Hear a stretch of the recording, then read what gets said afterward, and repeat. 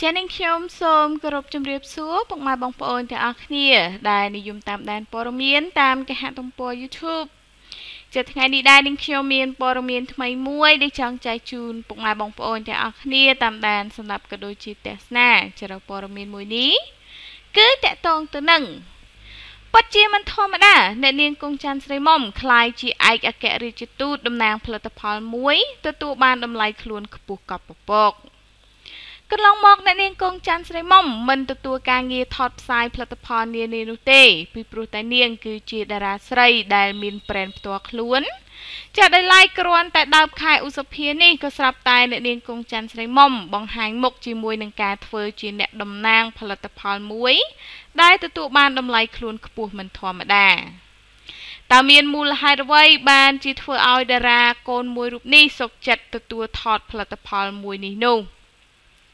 ចានៅក្នុងឈុតសម្លៀកបំពាក់មួយឈុតរួមជាមួយនឹងការតុបតែងខ្លួនបែបសាមញ្ញរបស់អ្នកនាងគង់ច័ន្ទស្រីមុំ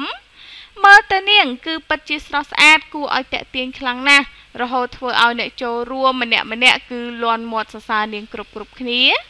ជាពិសេសក៏មានវត្តមានស្វាមីព្រមទាំងកូនជាទីស្រឡាញ់របស់នាងចូលរួមផងដែរ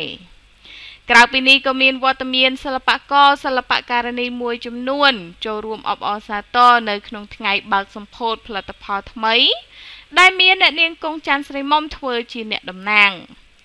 នេះគឺជាលើកទី1ហើយដែលតារាស្រីទទួលបានចាប់ភាពជោគជ័យទាំងជីវិតគ្រួសារនិងមុខជំនួញ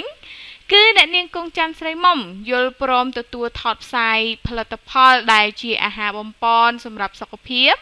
ដែលមានឈ្មោះថាវ៉ាណេដោយមានលក្ខខណ្ឌជាច្រើនដែលធ្វើឲ្យនាងសម្រេចចិត្តថតនិងធ្វើជាអ្នកតំណាងផលិតផលមួយនេះ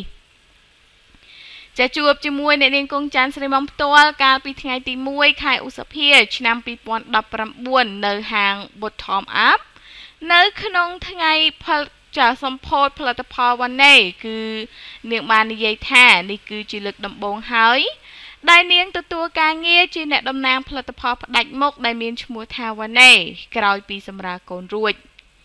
មុននឹងសម្រេចចិត្តទទួលការងារនេះគឺនាងបានគិតគូរយូរដែរពីព្រោះនាងក៏ជាតារាមួយរូបដែលមានប្រេនផ្ទាល់ខ្លួន ប៉ុន្តែដោយសារតែយល់ឃើញថាផលិតផលមួយនេះគឺជាផលិតផលអាហារបំពន់ដែលជួយឲ្យស្បែកភ្លឺថ្លាពីខាងក្នុងខុសប្លែកពីផលិតផល brand របស់នាងទើបនាងហ៊ានទទួលធ្វើជាអ្នកតំណាងផ្ដាច់មុខអ្នកនាងគង់ច័ន្ទស្រីមុំក៏បានបន្ថែមទៀតថា ពេលដែលសម្រាលកូនរួចគឺ ខ្ញុំមានជំងឺសន្លាក់តែពេលដែលប្រើប្រាស់ផលិតផលវ៉ាណេអស់ជាង1ខែខ្ញុំមានអារម្មណ៍ថាស្រួលខ្លួននិងធ្វើឲ្យសម្រស់របស់ខ្ញុំភ្លឺថ្លាពីខាងក្នុងព្រមទាំងបាត់ឈឺសន្លាក់ផងខ្ញុំក៏ទទួលធ្វើជាអ្នកតំណាងផលិតផលនេះតែម្ដង ពីព្រោះផលិតផលនេះគឺអាចជឿជាក់និងទុកចិត្តបាន បន្ទាប់ពីខ្ញុំបានសាកល្បងមួយរយៈ ចាអ្នកនាងគង់ចានស្រីមុំគឺបានបង្ហើបប្រាប់ពីតម្លៃខ្លួនដែលនាងទទួលធ្វើជាអ្នកតំណាងផលិតផលមួយនេះផងដែរថានាងទទួលបានតម្លៃខ្លួនខ្ពស់មិនធម្មតា គឺអាចនិយាយបានថា10000ដុល្លារឡើង ដោយនាងជាប់កងត្រាជាមួយផលិតផលនេះរយៈពេល1ឆ្នាំពេញចាចំណែកបរិសសង្ហាលោកហេងហុកឡាយដែលជាម្ចាស់ផលិតផលវ៉ាណេគឺបានបញ្ជាក់ប្រាប់ថា មូលហេតុដែលលោកជ្រើសរើសអ្នកនាងគង់ច័ន្ទស្រីមុំធ្វើជាអ្នកតំណាងផលិតផលនៅក្នុងក្រុមហ៊ុនលោកក៏ដោយសារតែមានមូលហេតុជាច្រើនប៉ុន្តែអ្វីដែលសំខាន់គឺលោកមើលឃើញថាអ្នកនាងគង់ច័ន្ទស្រីមុំគឺជាតារាល្បីនិងមានប្រជាប្រិយភាពខ្លាំងនៅលើបណ្ដាញសង្គមមិនត្រឹមតែប៉ុណ្ណោះនាងថែមទាំងជោគជ័យនៅក្នុងមុខជំនួយនឹងគ្រួសារដូច្នេះហើយលោកគិតថាតំណែងនេះគឺពិតជាស័ក្តិសមនឹងនាងខ្លាំងណាស់ តើបលោកជ្រើសរើសឲ្យនាងធ្វើជាអ្នកតំណាងតែម្ដងទៅចាពុកម៉ែបងប្អូនទាំងអស់គ្នាសម្រាប់ព័ត៌មានមួយនេះគឺតកតងទៅនឹងចាតារាសម្ដែងដ៏មានប្រជាប្រិយភាពចាក៏ដូចជាតារា model គឺអ្នកនាងកងច័ន្ទស្រីមុំចាយើងឃើញថាបន្ទាប់ពីនាងសម្រាលកូនរួច គឺចាអ្នកនាងកងច័ន្ទសីមុំមិនទាន់បានចូលប្រឡូកនៅក្នុងវិស័យសិល្បៈវិញនោះទេទៅតែចាចូលដើមខែឧសភានេះភ្លាមគឺអ្នកនាងកងច័ន្ទស្រីមុំចាំ ចូលមកធ្វើជាអ្នកតំណាងផលិតផលមួយដែលមានជា brand Tawane ដែលជាផលិតផលអាហារបំពន់ថែរក្សាសម្រស់ឲ្យភ្លឺថ្លាពីខាងក្នុងមក ចានៅក្នុងនោះគឺអ្នកនាងកងច័ន្ទស្រីមុំទទួលបានតម្លៃខ្លួនចាខ្ពស់មិនធម្មតានោះទេ ចាដោយនាងកងត្រារយៈពេល1ឆ្នាំ គឺចាទទួលបានតម្លៃខ្លួនចារាប់ម៉ឺនដុល្លារនោះចាគឺពិតជាមិនធម្មតាមែន ចាហើយសម្រាប់ព័ត៌មានមួយនេះក៏បានដល់ទីបញ្ចប់តែប៉ុណ្ណេះហើយនាងខ្ញុំសូមអរគុណពុកម៉ែបងប្អូនទាំងអស់គ្នាដែលបានតាមដានទស្សនាព័ត៌មាននេះចាហើយនាងខ្ញុំក៏សូមបង្វែររំពុកម៉ែបងប្អូនទាំងអស់គ្នាទៅតាមដានទស្សនាព័ត៌មានទី2ដែលជាព័ត៌មានបន្តវិញម្ដងចាសសូមស្វាគមន៍មកកាន់ព័ត៌មានទី2ជាបន្តទៀតចាសម្រាប់ព័ត៌មានទី2នេះវិញគឺតកតងទៅនឹង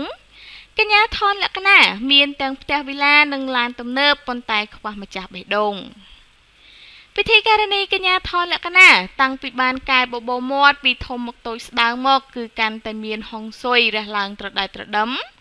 រហូតទិញវិឡាដ៏ធំស្កឹមស្កៃតម្លៃជាង20ម៉ឺនដុល្លារនិងត្រៀមទិញរថយន្តទំនើបម៉ាក Lexus LX 570តម្លៃជាង20ម៉ឺនដុល្លារទៀតផង។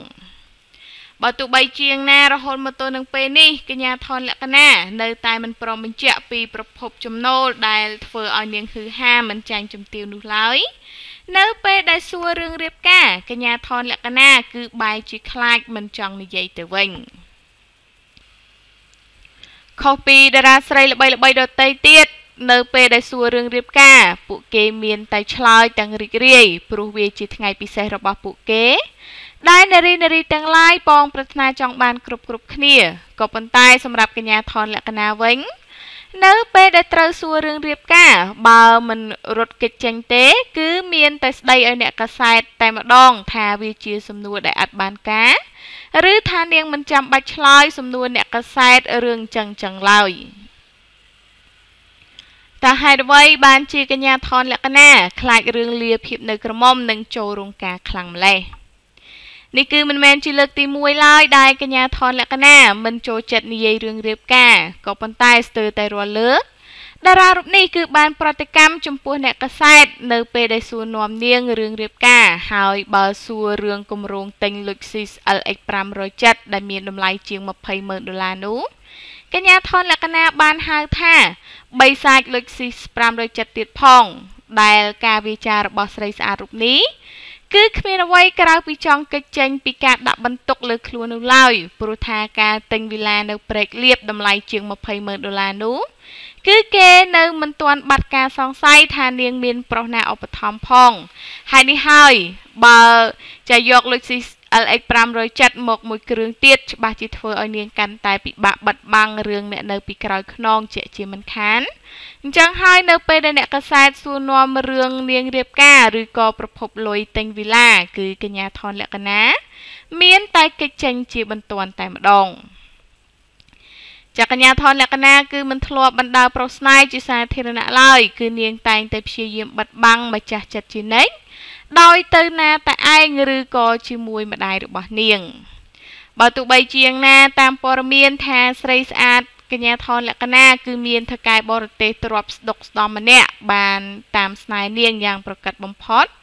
ប៉ុន្តែលក្ខណៈធ្លាប់ប្រាប់នាយកព័ត៌មានយើងថា នាងគ្មានបំណងយកប្តីបរទេសដូចជាបងស្រីរបស់នាង គឺអ្នកនាងថនតារាឡើយចាដែលឡែករឿងដែលកញ្ញាថនលក្ខណៈប្រឹងលាក់បាំងចាំមុខប្រុសស្នេហ៍ជាច្រើនឆ្នាំមកនេះក៏ត្រូវបានប្រភពខ្លះថា អាចដោយសារតែគូស្នេហ៍នាង គឺជាមនុស្សល្បី នៅក្នុងមុខជំនួយណាមួយទើបនាងមិនចង់ឲ្យគេស្គាល់នោះទេ ចាពុកម៉ែបងប្អូនទាំងអស់គ្នាចាសម្រាប់ព័ត៌មានទី2នេះវិញគឺតកតងទៅនឹងចាកញ្ញាថនលក្ខណៈឃើញថាពេលនេះគឺចានាងមានជីវិតមួយដែលរស់នៅយ៉ាងហឺហាតែម្ដង ចាដោយមានផ្ទះវិឡាដ៏ធំស្កឹមស្កៃនិងឡានចាទំនើបម៉ាក Lexus LX 570ដែលមានតម្លៃជាង20ម៉ឺនដុល្លារឯណោះប៉ុន្តែគេសង្កេតឃើញថាចានាង មានទាំងផ្ទះមានទាំងឡានប៉ុន្តែគឺនាងនៅខ្វះ ចាអ្នកមើលថែបេះដូងនាងចាហើយសម្រាប់ព័ត៌មាននេះក៏បានដល់ទីបញ្ចប់តែប៉ុណ្ណេះហើយនាងខ្ញុំសូមអរគុណពុកម៉ែបងប្អូនទាំងអស់គ្នាដែលបានតាមដានទស្សនាព័ត៌មានដែលចេញពី Channel របស់នាងខ្ញុំចាហើយនាងខ្ញុំក៏សូមអរគុណសម្រាប់ការចុច Subscribe របស់បងប្អូនទាំងអស់គ្នាមកកាន់ Channel របស់នាងខ្ញុំផងដែរចាហើយសម្រាប់ពេលនេះដែរនាងខ្ញុំសូមអរគុណនិងសូមជម្រាបលា